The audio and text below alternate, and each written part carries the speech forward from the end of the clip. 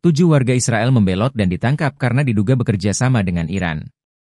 Mereka disebut menjadi mata-mata Iran dengan membocorkan informasi terkait markas pasukan pertahanan Israel dan lokasi baterai sistem Iron Dome.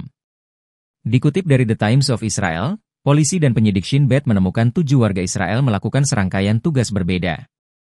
Adapun mereka menjalankan tugas untuk Badan Intelijen Iran. Bahkan ketujuh warga Israel berhubungan dengan agen Teheran. Sebagai imbalan, tujuh warga Israel dibayar ratusan ribu dolar. Menurut jaksa, mereka sudah menjadi mata-mata Iran selama dua tahun. Warga Israel ini merupakan warga Yahudi di Haifa dan wilayah utara. Para tersangka dituduh memotret dan mengumpulkan informasi tentang pangkalan dan fasilitas IDF. Termasuk markas pertahanan Kirya di Tel Aviv dan pangkalan udara Nevatim serta Ramat David.